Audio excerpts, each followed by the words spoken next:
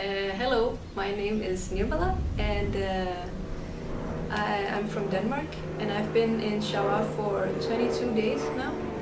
Um, and here I've been working mostly with planting seedlings and um, filling pots with soil. Um, but what's really great about this place is that while you're working you learn a lot of things.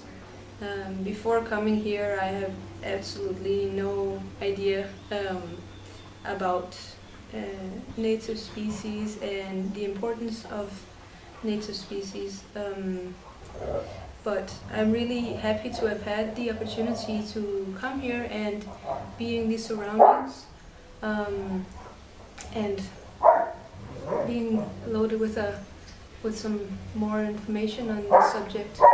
Uh, and other than that, it's also a really, really great place and the people here are very, very nice and I highly recommend it to anyone uh, who's considering coming here. I think it's a, it's amazing like how comfortable you can feel in a place like so far from home. Um, so I'm happy, very, very happy to have been here.